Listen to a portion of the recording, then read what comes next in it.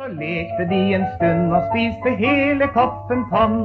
Og siden gikk de hjem og trommet trommelommelom. Pelle på et melkespann og Kari på et krus. Og Mari på en kaffekopp og Kjell et kremmerhus. Slik gikk de hele veien hjem i rekke og i flokk. Og aller sist gikk lillebror og trommet på et lokk.